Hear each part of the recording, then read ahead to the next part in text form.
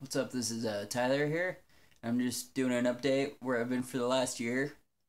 I've just been super busy with work and uh, uh, recording this new album. It should should be out in uh, next month sometime. I only have about three songs left, and uh, yeah, it's called uh, "Bad Luck Nights" and "Hometown Lights." Eh, eh, it's gonna be really cool. Um, got a new recording program and actual I got uh, Mixcraft, and then on top of that, my uh, best friend has been helping me mix and re- record, and uh, so uh, my songs are gonna come out more professional and kind of, have, but at the same time have that cool uh, DIY feel to it. So it's me cool. And uh, what else? For the last year, I've been going to um, a lot of shows here in my hometown in Grand Junction, and um, getting into a lot of new artists, um, a lot of outlaw artists like Jackson Taylor and the Sinners. I saw him twice, and actually uh, got his autograph and got a few pictures with him, and uh, got to know him a little bit. The first time I saw him, I wore my uh, Social Distortion shirt, and he's like, "Hey, man, I used I used to play with them. They're my favorite band." And um, they actually went up and did a uh, honky tonk version of uh, Ball and Chain, and um, super cool. He's one of my favorite artists right now. Um, who else? Last month I saw Jade Jackson again. She played in uh, Ridgway, Colorado, which was super humbling. She was uh, one of my favorite artists of all time, one of, probably my favorite female artist. And uh, I remember being right in front of the stage when she was playing, and she saw me singing every word and went down and gave me her pick. And afterwards, she's like, "I remember you from the Salt Lake show. How you doing? And uh, come have a." She's like, "Come have a beer with me and my band." So I got to hang out with her and her band again and uh, talk music, and it was super cool. Her uh, guitarist is uh, Julian Ness, Mike Ness's son from Social Distortion. I just shook his hand and said, I'm so humble. Your dad's my hero. And it was such an honor to meet him. And then uh, a couple weeks ago, I saw Teenage Bottle Rocket here in Grand Junction. And that was a super cool show. Um, really packed. And, uh, the great punk show. I The only song I really knew by them was Skate or Die. But um, they're a great band, and I recommend them. Then uh, in January, I saw um, I saw Blackfoot Gypsies, and um, that they're a great band. I, I recommend them. And then, yeah, here they are right here, Blackfoot Gypsies. If you haven't ch- heard them, check them out. They're kind of an old school. They feel like kind of a seventies, not kind of a seventies uh, like Lynyrd Skynyrd type band. Really cool boogie band. And then uh, band that played after him was a band from here in Colorado called the Yawpers. And I don't even know how to describe the Yawpers. They're like punk rock, um, bluegrass, country, folk, all in one, and they're one of the best bands I've seen live. Um, who else? I I think th- those were the big ones I went to. Um, and uh, last May, I saw Less Than Jake twice in Salt Lake at the depot with my brother in law. And then uh, they actually came here to Grand Junction, so I saw him twice in a row, and that that was amazing. My I went to the the Salt Lake show with my brother in law, and he's seen him two or three times, and that was an honor to see him with him. He's the one that got me into Less Than Jake and ska music, and um, it was an awesome time.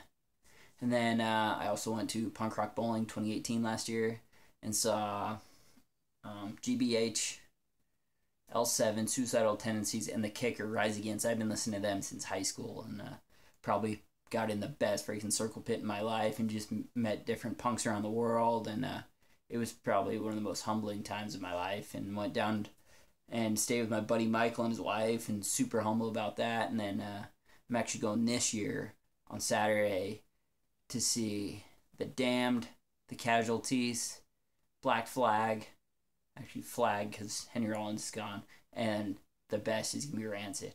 It's gonna be amazing to see Rancid again, or um, for the first time. I've never I've never seen them live. I've heard they put on one of the best punk shows of all time, so I can't wait for that. That's next month, and um, yeah, and then in this coming June, I'm gonna go see Kacey Musgraves at the Telluride Bluegrass Fest. So it's gonna be cool.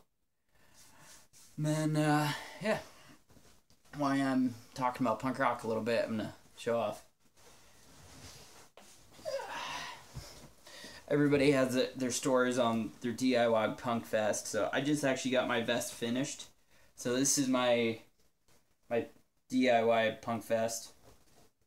So, so I'm gonna pretty much go in detail. This side right here is all bands I've seen live. Right here is uh, Less Than Jake. I got this at when I saw him in Salt Lake and uh, Green Day. I saw them at the M at the MGM a couple years ago in Vegas. And that was I cried during that show. Then right here is a punk rock bowling pin from last year. And this is a punk rock Converse All Star pin that says "fuck you" on it. Then right here is a social social distortion patch that I got when I saw him in Salt Lake.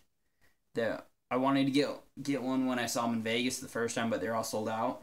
Right here is Cashed Out, a uh, Johnny Cash cover band that I saw here right when I first moved back. And then right here is a Whiskey Myers patch. I saw them a couple years ago here in Grand Junction. Right here is a um, Misfits pin. And I actually saw Doyle um, from the Misfits about a year ago. I mean, it's not the same as the Misfits themselves, but it was pretty cool. Then the other side is just bands i I'm a huge fan of or love to see. Um, and then right here, ACDC with Highway to Hell, probably they were probably my favorite non-punk, just my favorite rock band, my favorite non-punk band, especially with Highway to Hell, one of my favorite albums of all time. Uh, Blondie, of course. Right here is a Tupac pin because I got I'm really into Tupac right now and old school hip hop. Then uh, an old school uh, Kennedy's campaign pin because Kennedy was the best president we ever had. Then uh, I'm really excited about this one because I mean it's Rancid. So here's an uh, Operation Ivy patch a Rancid patch, and a Saints and Sinners patch. I don't think I've ever actually heard the band Saints and Sinners, but I like the patch I got from a uh, DIY online store called uh, Angry Young and Poor. I'd check them out. If you want uh, patches, pins, anything punk merchandise, check them out. Then right here on the back, I got a um, Colorado flag because that's where I'm from. And then uh, a still breathing patch that I uh, met this uh, really this punk girl on Instagram, and she make makes patches and DIY stuff, and she's really into Green Day, and uh, the song "Still Breathing" um, means a lot to me. Um, ever since I lost my job and I moved home, didn't really know what to do. That song really meant a lot to me. And uh, when I saw Green Day play in Vegas, like my heart dropped and I was about to cry. Right here is uh, Triple Play Records. They're actually the local record store here in Grand Junction. And then uh, below it is my main patch. I've had this patch on the back of this vest since I started putting it together. It is uh, Janis Joplin. Pretty much this originally was a, a t-shirt I had. I wore. I got it when I was a senior high school. Wore the hell out of it. I loved it. And then it just got dirty and ratty and shitty. So I just cut it out and uh, pretty much put it on the back of this. And then I actually have a J, J Jackson signature the first time I met her right up here. Then uh, right on the bottom is... Uh, Scott signature from uh, Scott from Local H when I saw him play here in Grand Junction. Then the other patch I got is a really cool patch that I got online off of Amazon. And that pretty much it's uh, right here that says the most the most dangerous weapon isn't a gun. The most dangerous weapon is uh, government controlled media, and I'm very about thinking for yourself, and not being a sheep, and not being controlled and pretty much doing stuff on your own. Then uh, the last, I wrote um, Too Weird to Live, Too Rare to Die because I'm a huge Hunter Thompson fan and I love the whole uh, gonzo journalism thing and uh, Fear and Loathing in Las Vegas. It's one of my favorite books and one of my Johnny Depp's best movies. So, yeah, this is uh, it's all ready for punk rock bowling this year. It's all uh, studded out. I put some studs and um, stars and different pins. And right here, I got a Social Distortion pin, of course. It's my favorite band. Then uh, Ramones pin. And most of these pins I got from, from uh, the record store, and I lived in Cedar City. So, yeah. Then right here, I did the most punk rock thing of all. Took a, a uh, old uh, PBR lid and pretty much stuck a pin in it. So, yeah. And yeah today was the uh, first day of the 2019 M- uh, NFL draft, and uh, my Broncos just picked up a uh, tight end from Iowa. So let's see how he does. Um, for some damn reason, Denver traded up with Pittsburgh and uh, pretty much got the 20th pick instead of the 10th, but we'll see what happens. Hopefully, this is a good year. I'm not a fan of Joe Flacco at all. I'd rather keep Keenum, rather rather keep Siemian, but we'll see what happens. And yeah, pretty much same old, same old. Besides that, just work and uh, try to go uh, turkey hunting this week, but there's so much damn snow up on Glade Park and the Grand Mesa here in Grand Junction that it's just not even fun anymore. But uh, been hunting, been doing that and playing frisbee golf and uh, pretty much mixing music. So um, yeah.